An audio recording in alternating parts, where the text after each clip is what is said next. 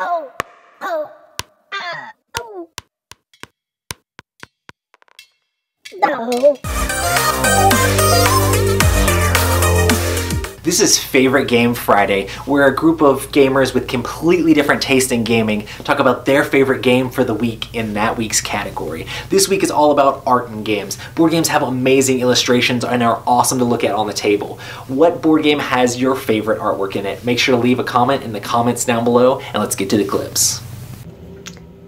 Beautiful, Celtic, Inis.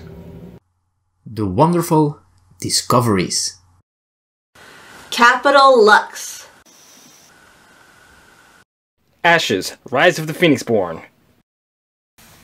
Islebound. The World of Smog on Her Majesty's service. Oh, Theme Park. Time Stories. Ashes by far is the best artwork. Above and Below.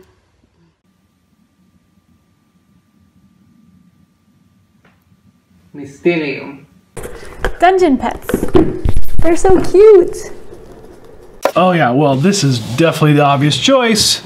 Mechs versus minions. That was Favorite Game Friday. Make sure to comment down below what your favorite artwork is, and make sure to check out all of our contributors on Instagram. We have a big board game community over there where everyone's posting pictures of the games that they're currently playing and asking questions about all sorts of different board games. So we'll see you next time.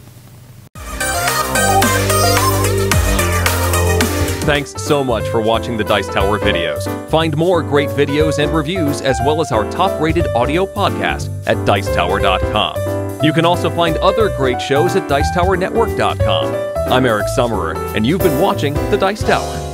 The Dice Tower is sponsored by Cool Stuff Inc., where you can find great games for great prices. Cool stuff in stock. Check them out at CoolStuffInc.com.